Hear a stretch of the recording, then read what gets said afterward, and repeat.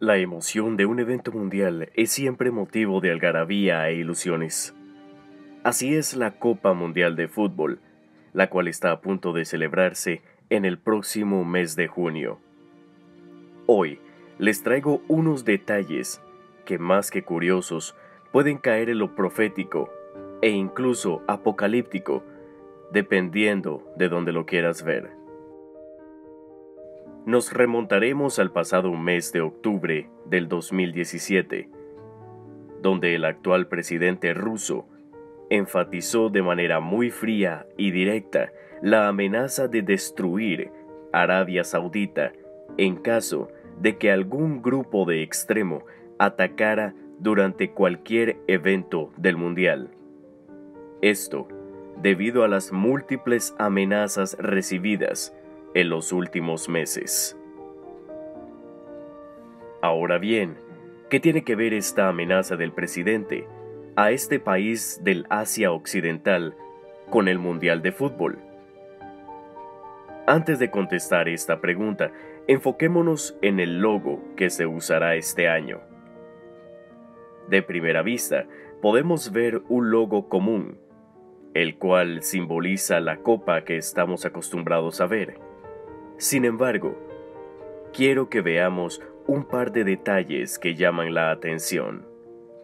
Primero, tenemos el número de estrellas. Vemos puntos y estrellas, pero si enfocamos en las estrellas vemos que hay nueve, un número de mucha importancia en el ámbito de la numerología de la élite. No hace falta que hable de este número cuando muchos eventos trágicos han ocurrido en fechas referentes a este número, en especial en el mes 9, que este año nos dejó muchas calamidades. Como segundo dato, tenemos el número de puntos. No sé si simbolizan estrellas, pero podemos contar 20. Y si agregamos este, que no por casualidad se parece a Saturno, tenemos 21. Este será el Mundial 21 de la historia, pero también ese número esconde un dato un poco aterrador. El virus del ébola tarda 21 días en incubarse y presentar sus primeros síntomas en sus víctimas. ¿Será esta la razón de esta similitud tan extraña? Recordemos que este evento atrae a personas de todo el mundo. ¿Es posible un nuevo brote de esta enfermedad? ¿Alguna mutación viral?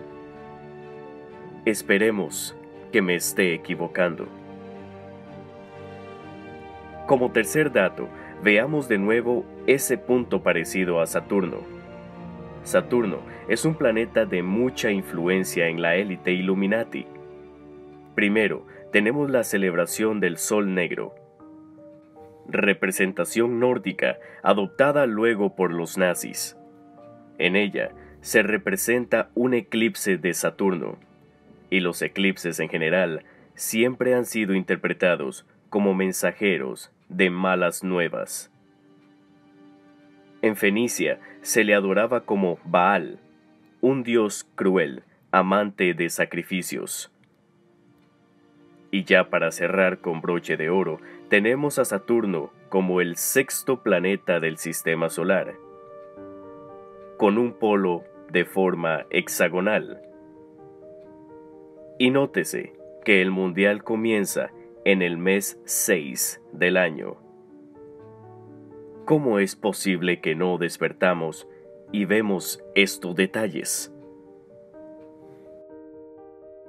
Ahora sí, volviendo al tema de Rusia y Arabia Saudita, ¿ya vieron cuál será el primer partido?